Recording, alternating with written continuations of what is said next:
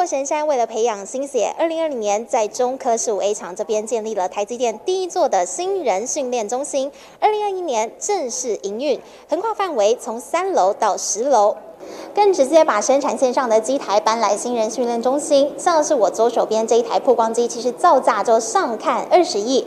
今天也透过我们的镜头，首都对外曝光台积电的新人训练中心。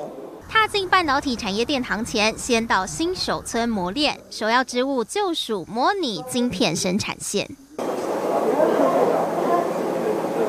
俗称娃娃机的运送轨道是台积电十二寸厂标配，造价高达上亿。原封不动搬来新训教室，学员实际操作，透过自动物料搬运系统，让晶圆损坏率大幅下降一成。新人中心提供是一个入门的课程，然后主要就是克服这个这个我们的同仁到台积电来之后呢，这个适应的问题哈。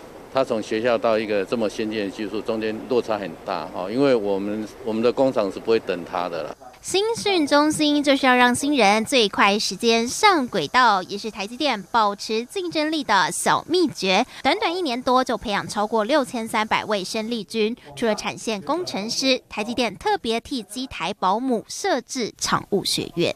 四、四、八、五，好，好，目前这是模拟在工厂内实际停电的这个状况。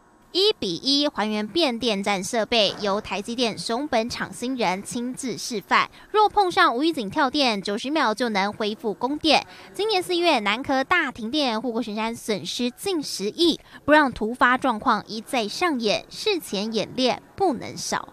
像我现在所在的地方，就是 VR 体验教室，台积电的新人们都可以来这边戴上 VR 的眼镜，就能够模拟工厂内部任何的意外情况。像我现在左手边这边就有模拟失火状况。各种状况一次掌握，从模拟失火到化学物泄漏，都有完整的 SOP，扎实训练，一丝一毫不马虎。源源不绝的人才是护国神山稳居晶片龙头的不二法门。环宇新闻张伟、陈品珍在台中的采访报道，请订阅、按赞、分享环宇新闻 YouTube 频道，并开启小铃铛，及时掌握全球时事与最新趋势。